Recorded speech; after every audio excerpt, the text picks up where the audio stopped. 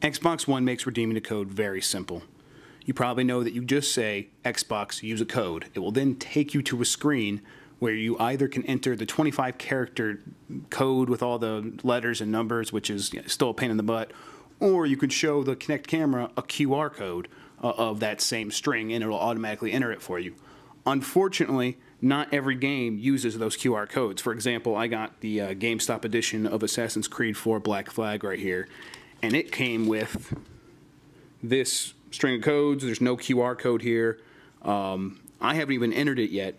Well, by the time you watch this video, I have. But I haven't entered it yet simply because I don't want to waste my time putting in these numbers using the, uh, the, the joypad and the on-screen keyboard. However, there is a way to go online, create your own QR code, and I'm going to show that to you right now.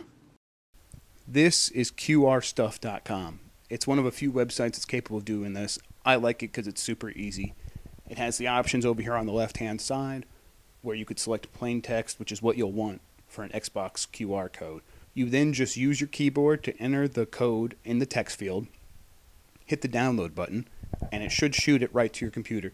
You can then either show your display screen from your computer to the Kinect, or you could send that download image of the QR code to a smartphone or a tablet, which is what I'm going to do.